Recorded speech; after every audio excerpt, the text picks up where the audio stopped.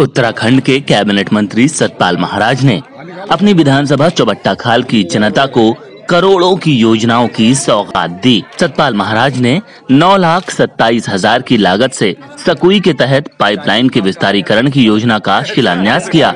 इसके साथ साथ चार करोड़ तीस लाख से ज़्यादा की लागत से जीवई विरगटा मोटर मार्ग के डामरीकरण का लोकार्पण किया।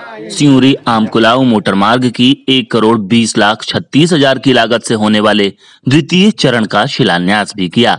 इसके अलावा पाँच करोड़ अड़तालीस लाख से अधिक की राशि से निर्मित मैठाणा घाट, बवासा, रसिया महादेव मोटर मार्ग और कोठिला में विधायक निधि से किए गए कार्यों का लोकार्पण भी किया। निश्चित रूप में सड़कों का रखरखाव हम ठीक करेंगे, जो गड्ढे हैं वो ठीक करेंगे और इसमें गुणवत्ता के अंदर सुधार करेंगे और सड़कों का सुधारीकरण होगा इसमें हमने आदेश दे दिए हैं इसको हम कर रहे हैं। सर काफ़ी पहले से कांडाखाल और जो राजकीय इंटर कॉलेज कांडाखाल तक सड़क जोड़ने की बात कही गई थी और मेरे पास ऐसा है सड़कें बहुत सी जगह हैं बहुत सी जगह कनेक्टिविटी की बात है।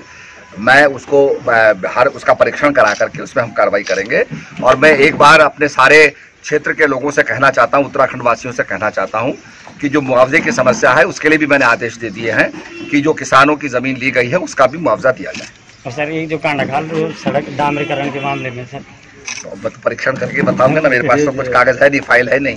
मैं परीक्षण करके तो सतपाल महाराज ने लोक निर्माण विभाग और पीएमजीएसवाई के अधिकारियों को विभिन्न क्षेत्रों में सड़कों के निर्माण के समय अधिग्रहित की गई लोगों की ज़मीन के सालों से लंबित मुआवजे को जल्द भुगतान के भी निर्देश दिए। सतपाल महाराज ने अधिकारियों को शासनादेश के तहत काम करने और जनता की भावनाओं का भी ध्यान रखने को कहा।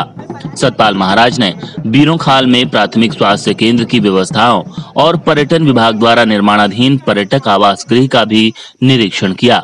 जनता को संबोधित करते हुए सतपाल महाराज ने कहा कि उत्तराखंड में भारतीय जनता पार्टी की सरकार तेज़ी से विकास कार्य करवाने का काम कर रही है।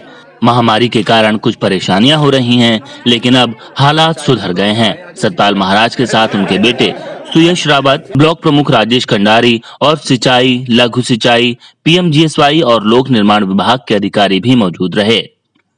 Bureau report MI news